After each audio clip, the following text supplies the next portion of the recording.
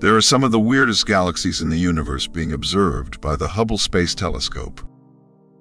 ESO 41519 is a galaxy with a past. A close encounter between ESO 41519 and another galaxy occurred sometime in its history.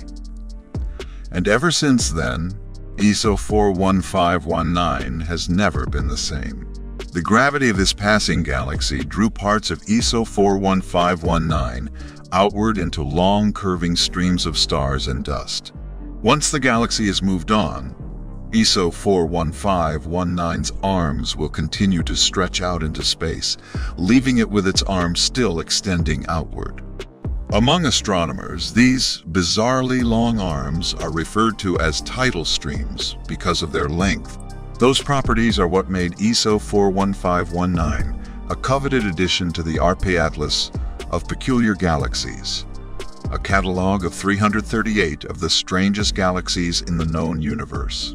There are examples of lopsided one-armed spiral galaxies such as NGC 4027 in the Arp Atlas, cosmic train wrecks like the Antennae galaxies, and ring-shaped galaxies with their centers ripped out by another galaxy, barreling right through them.